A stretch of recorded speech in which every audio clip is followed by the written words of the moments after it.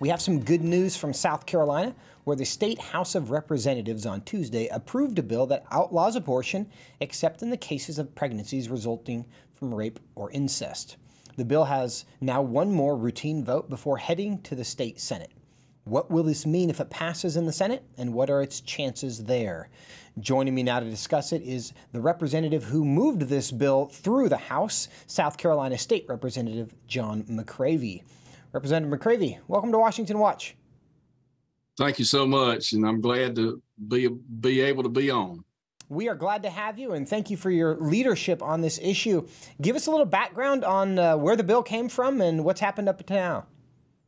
Well, of course, we like many states, um, we we scheduled a special session as soon as the Dobbs decision was finalized. Uh, we we had a special ad hoc committee that I was the chair of.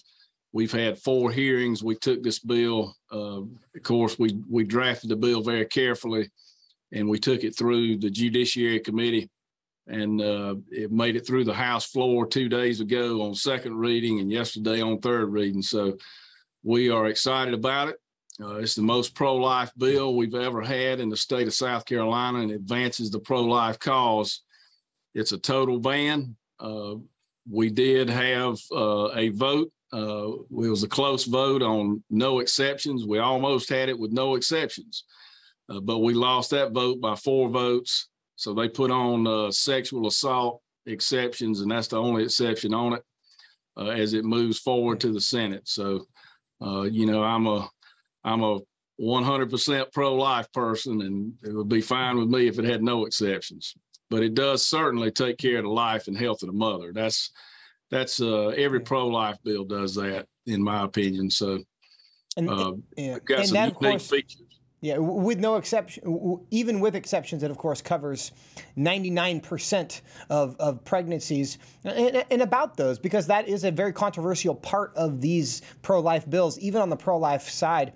How is that determined or enforced? Can somebody just say they were sexually assaulted and therefore be an exception?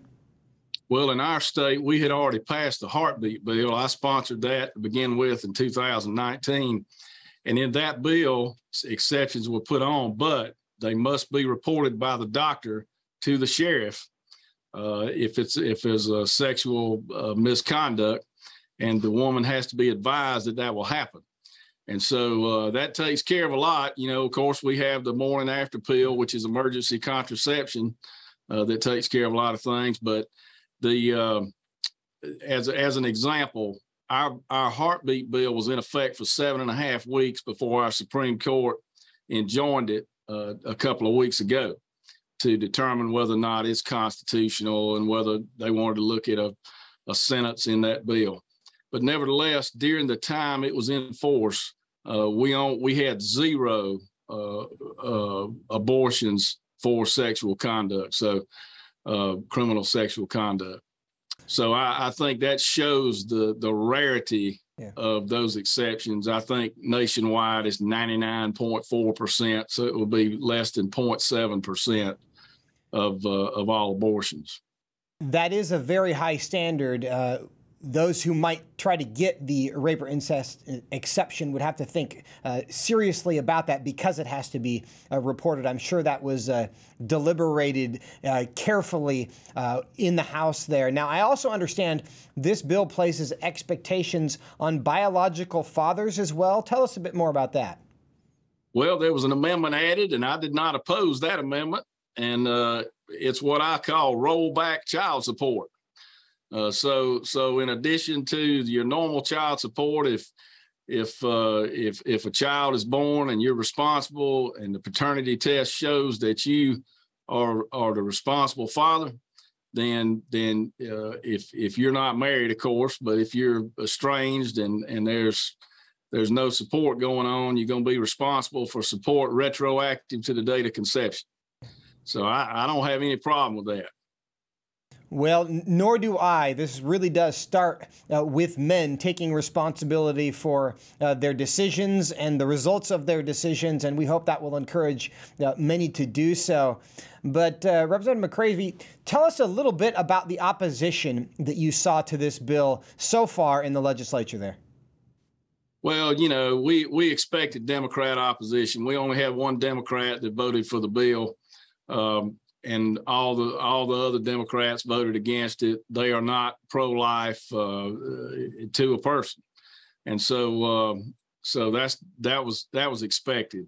Uh, we did not know how many Republicans, however, would be op- either opposed to the bill or opposed or uh, wanted exceptions on the bill. Uh, we found out that there were about 23 Republicans out of 80 that uh, wanted exceptions on the bill. And when, the, when they joined with the Democrats, uh, that was a coalition we could not stop. We were about four votes or eight votes short. Uh, if four people had changed their mind, we could have we could have passed it with no exceptions. So um, we've come a long way in South Carolina toward um, recognizing the rights of the preborn. Yeah. Um, and I want to say one thing about this bill. There are several things in it that I think other states should look at. We heard from the medical community and we listed eight different conditions that we're going to say are presumed if they're present that could threaten the life of the mother.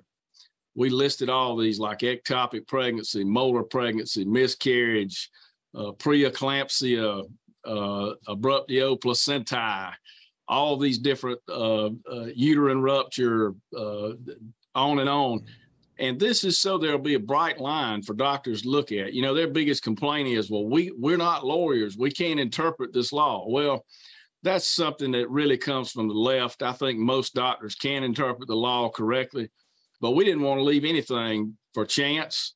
And we wanted to take away all excuses. Uh, so the pro-life medical community, the pro-life OBGYNs had input into this bill. We had uh, pro-life uh, embryologists.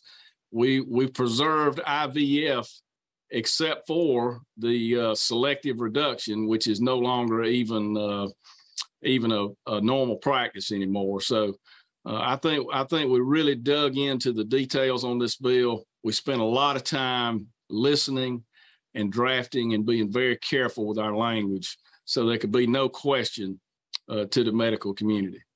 Representative John McCravy, we appreciate you doing that, the diligence that you have clearly given to this. We appreciate your time today, and uh, we will continue to uh, cheer for your efforts there in South Carolina. Thanks for joining us.